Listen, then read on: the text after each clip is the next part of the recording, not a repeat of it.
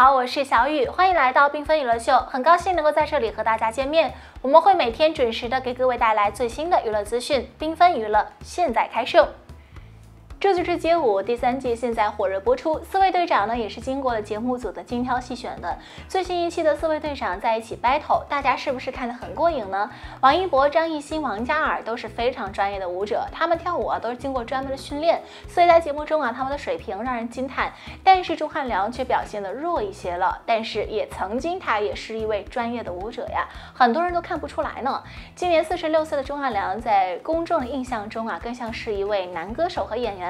但实际上呢，钟汉良作为一名舞者首次亮相，并在台湾发行了他的第一张国语专辑《O R E A》，被称为是小太阳。他还参加了舞蹈表演，而且他的表演都是非常有水平的。钟汉良从一九九二年就开始了自己的职业生涯，他考入香港无线电视台，而且他被选为了一名舞蹈演员，成为唱跳歌手发展。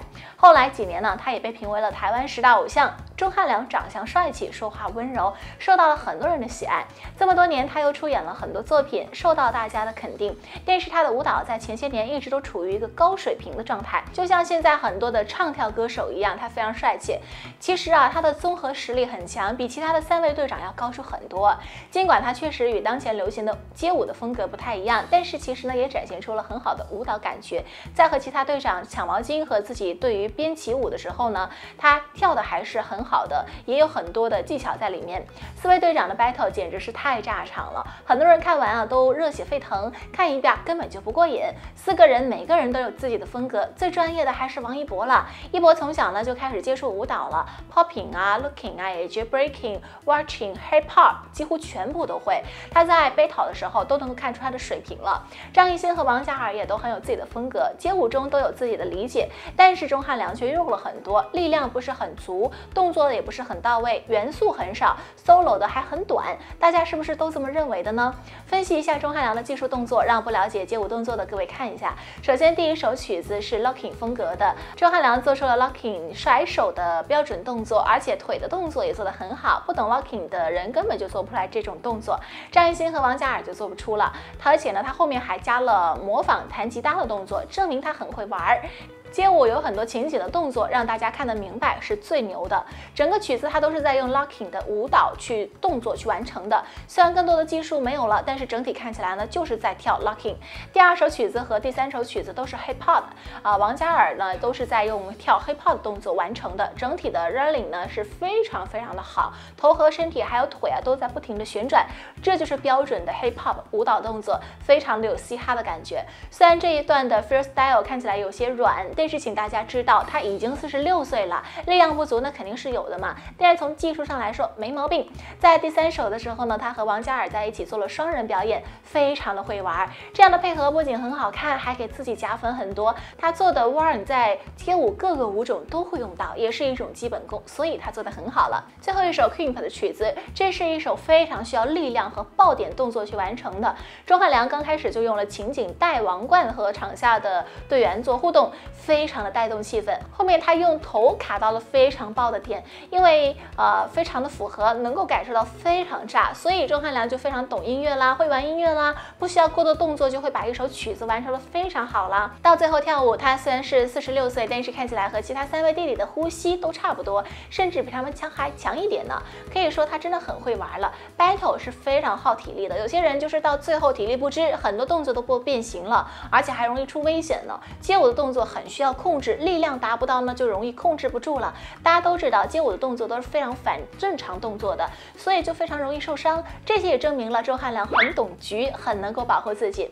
看到这些，大家是不是觉得对钟汉良的舞蹈水平改观一些了呢？毕竟是四十六岁的中年大叔，能保持这样的水平，其实已经非常不错了。他不是从事专业舞者啊，所以呢，大家也不要太严格的去要求他，只要他懂得玩、懂得看、懂得街舞就好了。在四位队长中，他是最用功的，往期都看了一遍。很多舞者他都记下来了，这样用功的钟汉良值得尊重，被大家喜爱。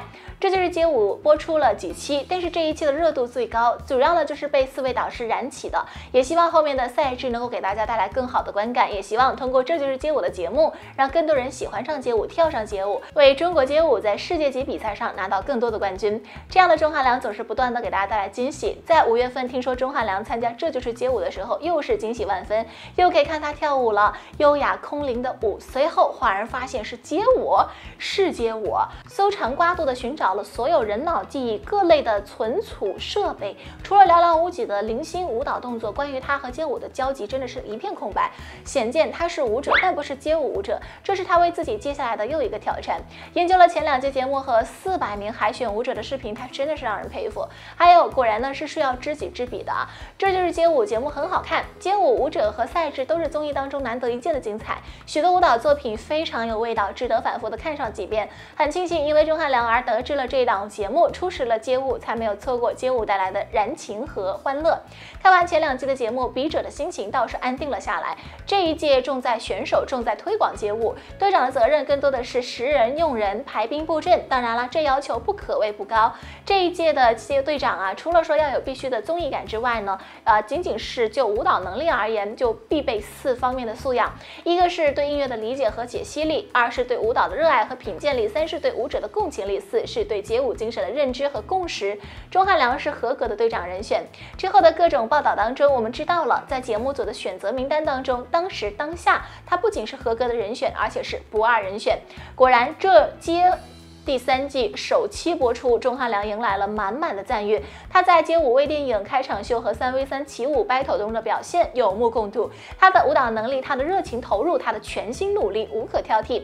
日料之中的是，他再一次让人惊喜了；意料之外的是，他没有如大多数人预料的以自己擅长的拉丁舞或现代舞融合街舞，他完全是以一个街舞初学者的态度和身份，将自己融入到街舞当中，学习街舞舞种的动作和技能。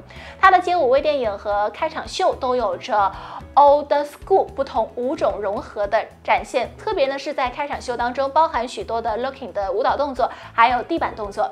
为这场秀编舞和助舞的两位叶老师在相关信息当中提到，钟汉良之前是没有接触过 locking 的。他在仅有的十余天里面完成了从学习街舞的新动作到人生第一场街舞大秀的过程。从确定参与节目担任队长到开场秀拍摄十余天而已，每一个第一次都是惊喜，惊喜之余为他的努力而惊赞，惊赞之上又不得不为他的天赋而惊奇。每一个第一次都是他的突破，都是他再一次战胜自己。然而有些波澜起伏、跌宕的，让人不敢相信这是生活。是的，这不是生活，这是街舞。第二季的预告来了，带来了前两季没有的赛制，海选最后一条毛巾的争夺战，由四位队长来完成四轮 c u p h e r 这赛制对于此时的钟汉良来说，显然是一道超纲题。Freestyle 随机放音乐。